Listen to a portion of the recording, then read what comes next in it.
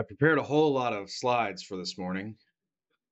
And then I prepared again and cut a bunch out. So we'll see if, if we get the timing about right.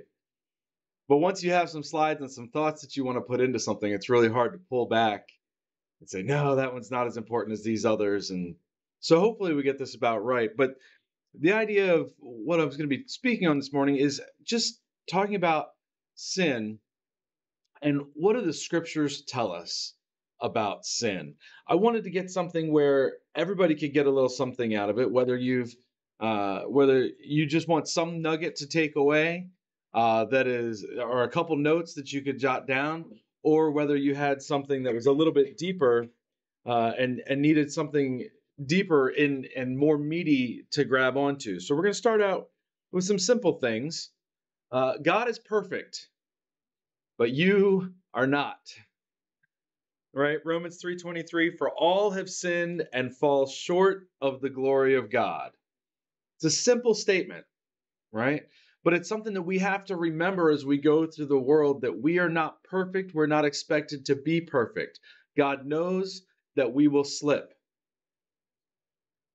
God knows that we will slip. He designed us in a way that we are not perfect, although we should be trying to be. Sin is lawlessness and unrighteousness. Right? It's the lack of law, the lack of righteousness that puts us in sin. 1 John 3 4 Everyone who sins breaks the law. In fact, sin is lawlessness. A simple verse. And 1 John 5 17 All unrighteousness is sin, and there and there is a sin not leading to death. We look at these things. Um, some sins out there will end up leading to death, some will not, but all unrighteousness is considered sin. So there's the righteous side of things, and we've got to look at the whole the totality of the scriptures to figure out these things, right? But there's the the there's that which is right, that which is good.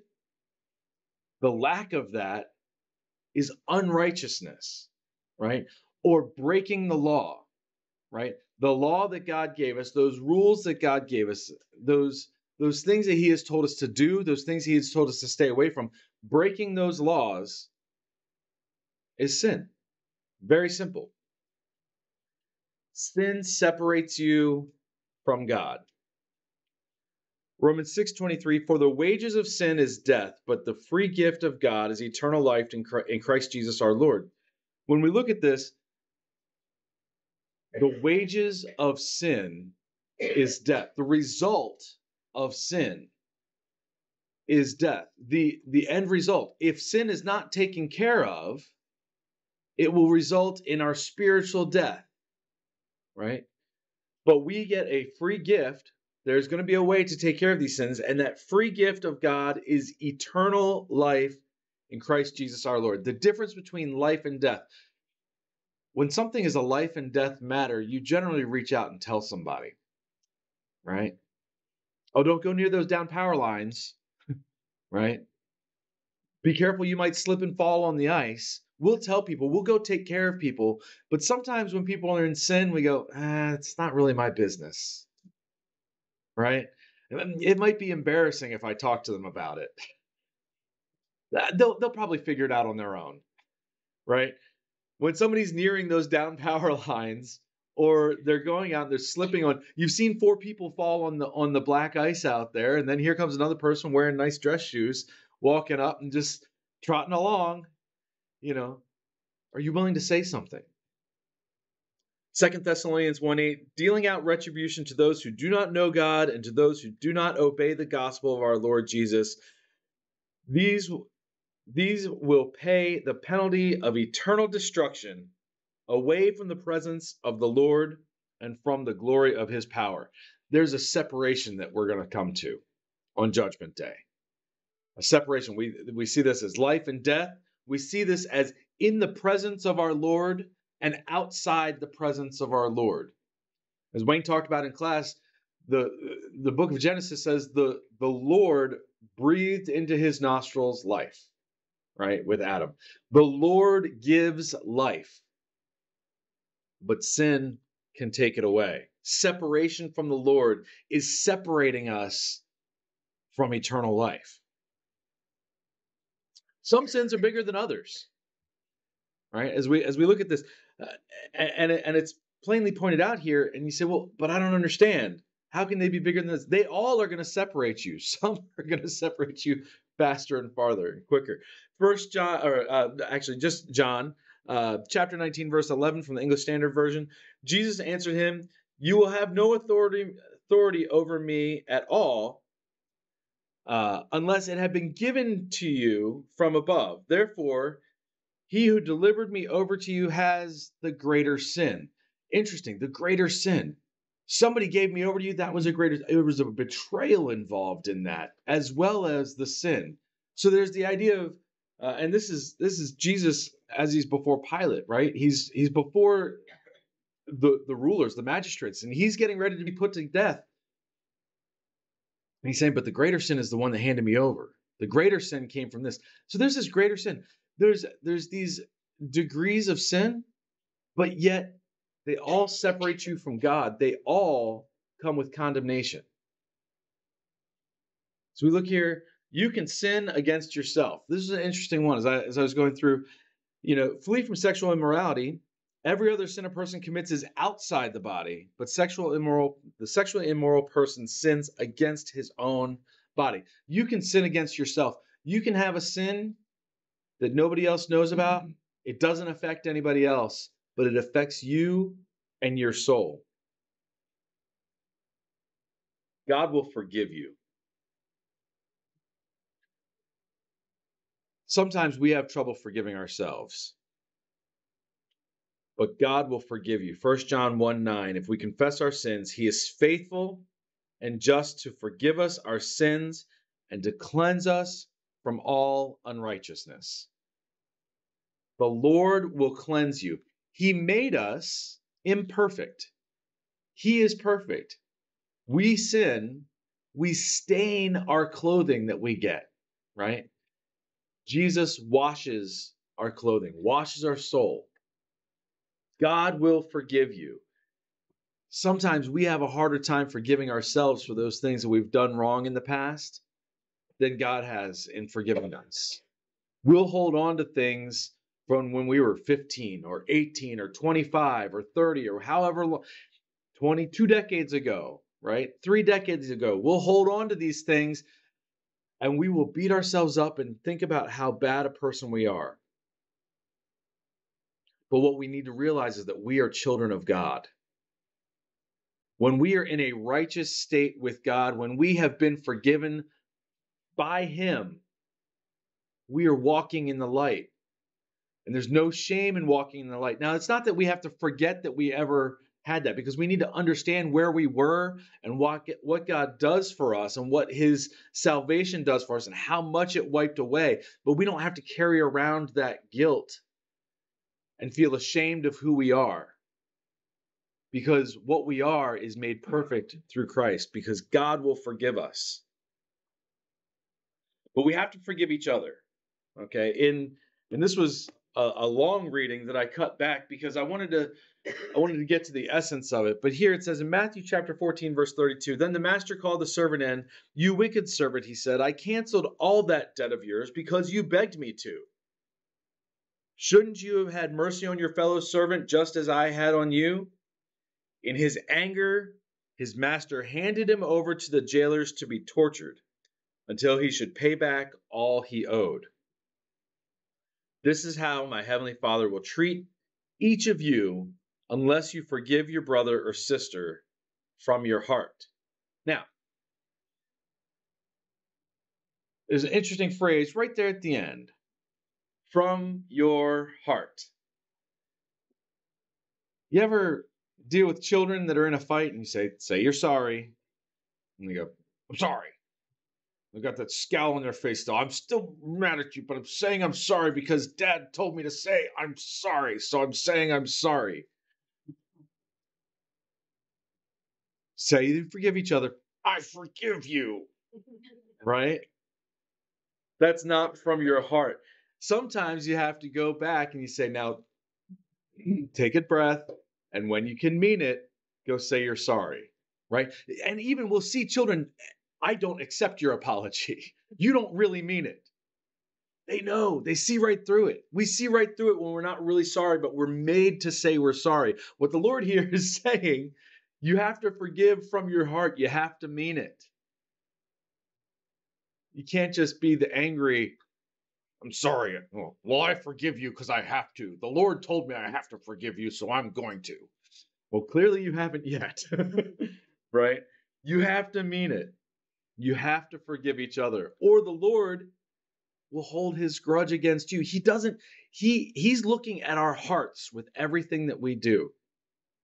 He's looking at our hearts and our relationship to him. That sin puts a barrier between us and the Lord. It puts something, we have put some evil thing between us and the Lord. We put it there. He's looking at our relationship. And when you put something between you and the Lord, He can no longer see you because you've hidden behind it. It's like you're the when you walk out into the sun, you say, I want to feel the rays of the sunlight, right? God is light. We say, I want to feel the rays of the sunlight, but oh, let me uh, step behind this tree so I can be in the shade. When you step behind the tree so you're in the shade, you're not feeling the sun. You're not in his light. He doesn't see you because you put something be- between you and him. Right? That if you put that sin between you and the Lord, you're standing in the shadows. How far is the Lord? One step away. He's right there. He's still shining, but you put something between you and him. He's paying attention to our hearts and our relationships with Him. Relaxing the rules is breaking the rules. This is an interesting one. This is one that I, I, think the, the religious world deals with a lot. You know, well, do we really have to do everything it says in the Bible? I mean, some of that stuff's, you know, gotta go every week. I can't, I, I can't take take time off. You know, I, I can't be in the habit of forsaking the assembly. I can't just decide, eh, I don't need to go anymore. These little things. Relaxing the rules is breaking the rules. Matthew 5 19. Therefore, whoever relaxes one of the least of these commandments and teaches others to do the same will be called least in the kingdom of heaven. But whoever does them and teaches them will be called great in the kingdom of heaven. We need to understand that holding tight to the scriptures is seen as righteousness by the Lord. Holding tight to the scriptures. Now, we have to, again, understand we're not going to be perfect. I don't think anybody here could start at the beginning of, of the Bible and recite it. Even pick a version reciting it, you'll get to some point you go, yeah, I don't know. Leviticus 4, I don't know what's in there. Okay, let's see, just the New Testament. Okay, Luke chapter 4. Pick a random a random chapter and go, what exactly happens there? All of us have some blank. There's some blank where you go, yeah, I need to reread that. I need to go back and look at that. And that's just knowing the word, much less applying it right? Do you have to know all of the word to be righteous? No. But you have to be working at applying it. You got to know enough to know what you're applying. So we can't relax the rules. You can't say, ah, we don't want to follow that one. That one's not good. That one, that one's too hard, right? We can't relax the rules. Again, everything matters. Some things matter more. Interesting that that's what's said here in Matthew chapter 23 verse 23. Woe to you teachers of the of the law and Pharisees, you hypocrites. You give a tenth of your spices, mint, dill, and cumin, but you have neglected the more important matters of the law justice, mercy, and faithfulness. You should have practiced the latter without neglecting the former. So Jesus didn't say here, right? What's what's said here is not don't worry about the details, focus on the big stuff only. Right? He said, "Yeah, you, you're doing the detail work, but you're you're neglecting the weightier matters." Some versions put it. the more important matters. Important matters. As we look at this, there are things that are important in how we deal with each other justice, mercy, and faithfulness towards each other and towards Christ. That is of the heart. And then tithing these things that they were doing under the Jewish law, they were they were told to give a tenth, right? They were told to give one tenth of everything that they had. They would do all these little things. Oh, I'm tithing. I, I'm, and they would feel justified while still looking at their brother going, I forgive you because I have to, right? Going back to that bad attitude on the inside towards each other. So everything matters. Some things matter more. Some things are weightier, they're heftier. They matter more because they change how we treat each other as well. Right? When you have justice and mercy and faithfulness in your heart, and the love of the Lord in your heart and the love of the Lord towards your brethren, it shows and they feel it and they're strengthened by it. None of you would be strengthened if I counted out a tenth of my dill and set it in the, in the collection tray, right? You're not strengthened by that, but you're strengthened by the love and power of the Lord that we share with each other. Abstaining from good is bad. James 4:17 Therefore to one who knows the right thing to do and does not do it to him it is sin.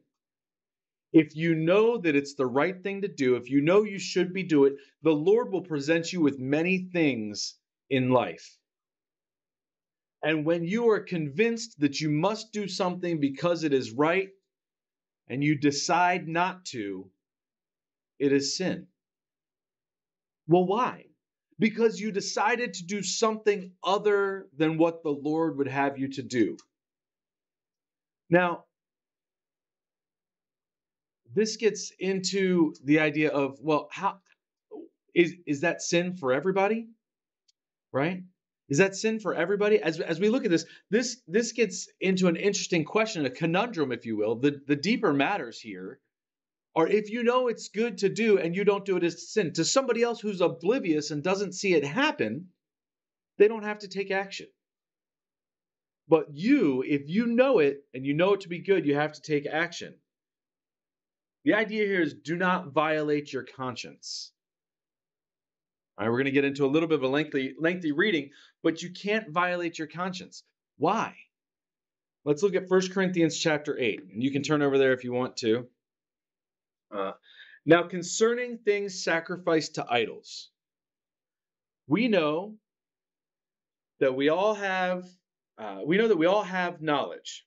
Knowledge makes arrogant, but love edifies. If anyone supposes that he knows nothing, he has not yet known, and he is not he has not yet known as he ought to know. But if anyone loves God, he is known by him.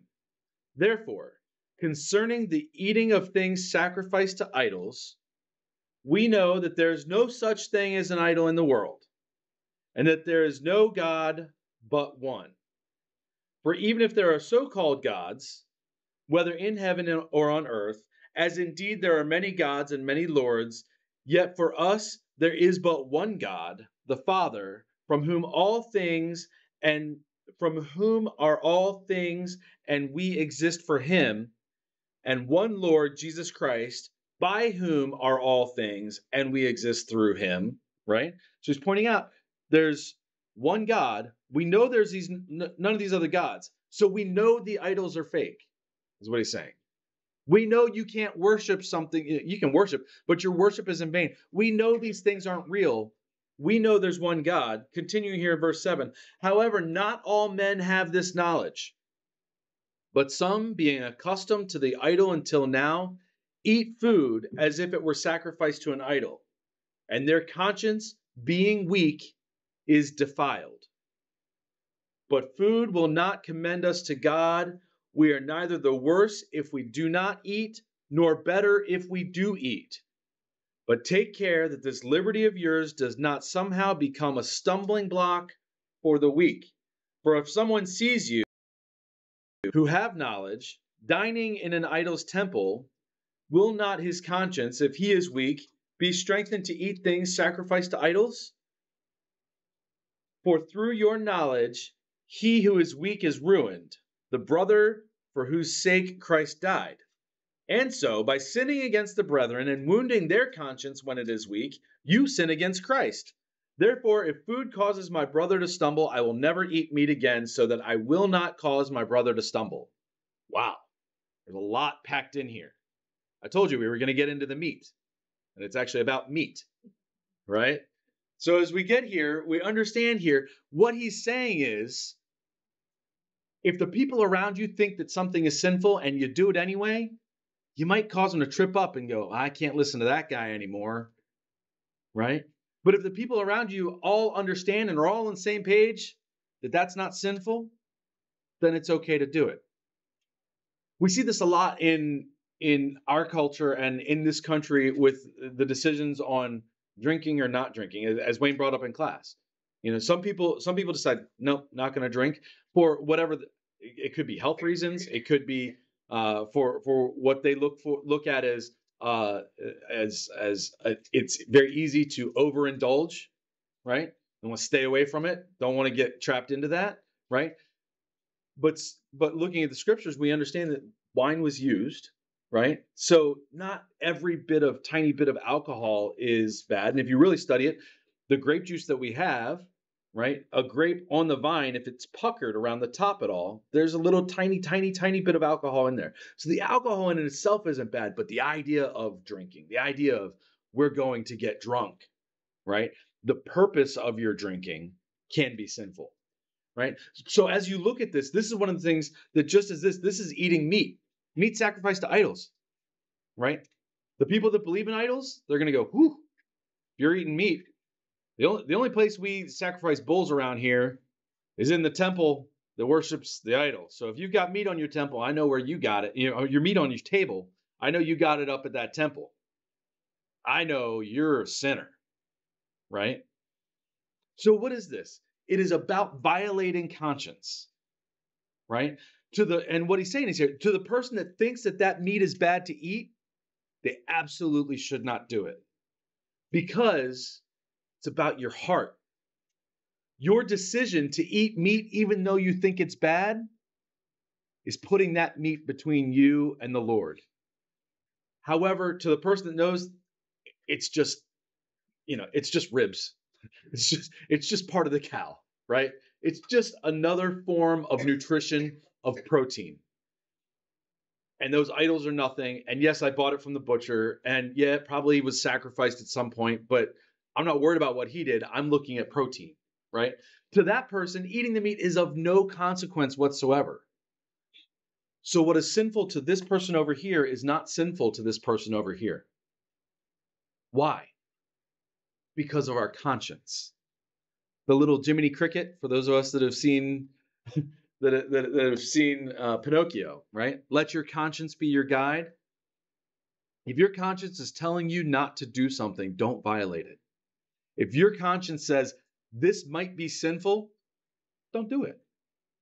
Be sure of something. And what we see with this is a lot of sometimes it's education as, as we see people coming out of uh, different denominations or, or uh, different uh, religious, different cultures. You know, uh, people, Hindus, you know, that's the sacred cow. You can't eat the cow. It's sacred. Okay, don't eat the cow if you still think that, right? And I won't eat the cow in front of you because I don't want to offend you. But we can study the scriptures and understand that me eating meat is just fine over here, right? So this is this is one of those harder ones. So even if it's wrong, uh, even if it isn't wrong, sorry, I left out a word that it's important. Even if it isn't wrong, but you think it is, and do it anyway, God knows you have chosen sin over Him. It's a really interesting point here because God is always looking at our hearts. Are we choosing Him over evil? As we learn more in the scriptures, we learn more good to do. We are required to do more good, as we saw earlier. If you're oblivious to it and you don't understand that you have to do the good there, God is not requiring it of you yet, right? When it's something good to do.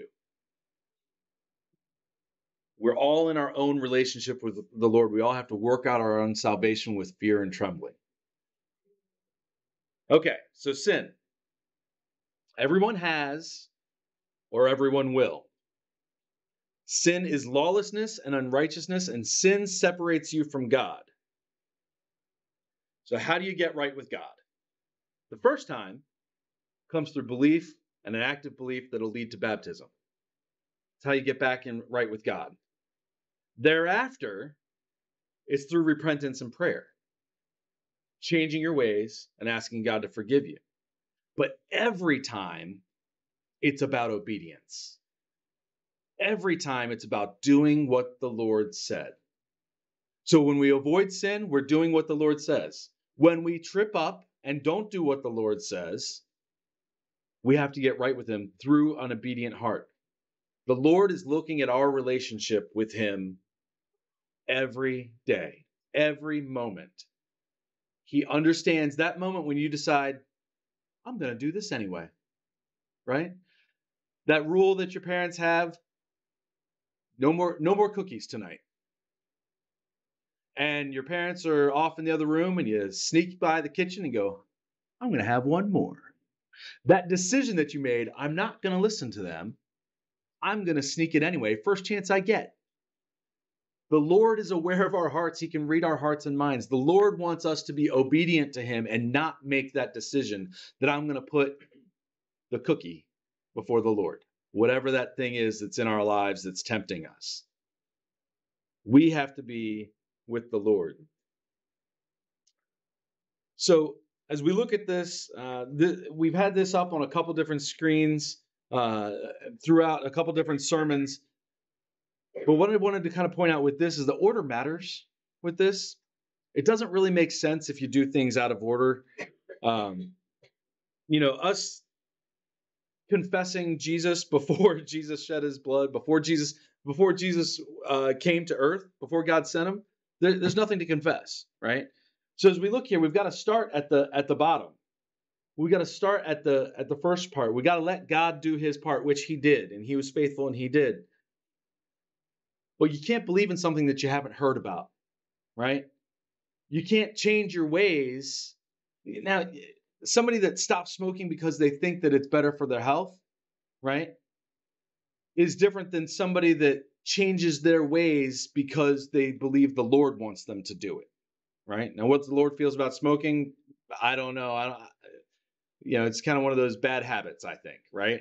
Um, but if you stopped getting drunk because you thought your liver was failing, that's a better analogy for us. That's different than stopping getting drunk because the Lord tells you to be of sober mind and spirit.